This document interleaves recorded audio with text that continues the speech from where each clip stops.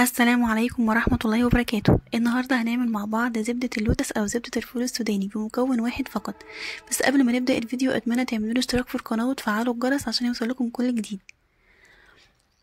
أنا هنا عندي آه تقريبا يعني دول بعشرة جنيه سوداني. متحمص طبعا مش مملح ولا أي حاجة. ده سوداني حلواني. بعد كده هحطه على النار. ياخد بس سخونة شوية كده. أنا مش عايزاه آه يتحرق مني ولا أي حاجة خلي بالكم. من الحتة دي كويس. أنا يا دوب بس سخنته وبعد كده يعني حطيته في الكبة زي ما إحنا شايفين كده وبدأت أطحن فيه. هو بيطحن على كذا مرحلة.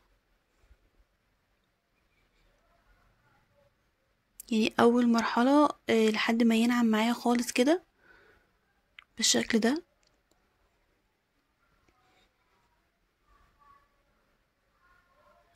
وبعد كده هرجع اطحنه مرة تانية عشان بقى ينزل الزيوت اللي موجودة فيه.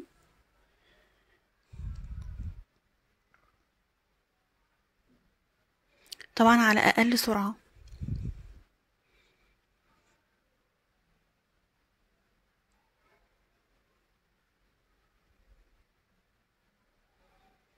أنا مش هحط أي حاجة إضافية عليه ولا زيت ولا أي حاجة بس لو أنتي عايزة تحطي زيت بعد كده عليه يخففه شوية يخفف القوام بتاعه شوية مفيش مشكلة. كده كده لما بنيجي نستخدمها في الحلويات بنضيف عليها إضافات فبتبدأ تخف معانا شوية يعني.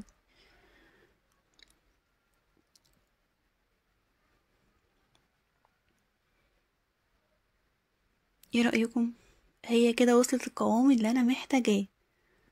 شايفين جميل إزاي وبتلمع؟ هبدأ أطحنها مرة تانية علشان أتأكد إن مفيهاش أي قطع سوداني ولا أي حاجة خالص.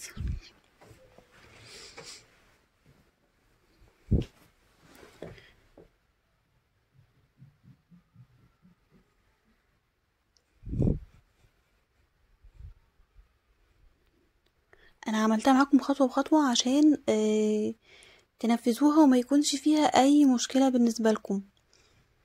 أيوه هو ده بالظبط القوام اللي أنا محتاجاه. شبه الطحينة كده.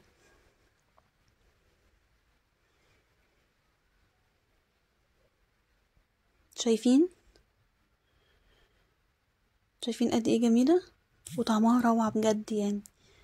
أتمنى تجربوها. والسلام عليكم ورحمة الله وبركاته.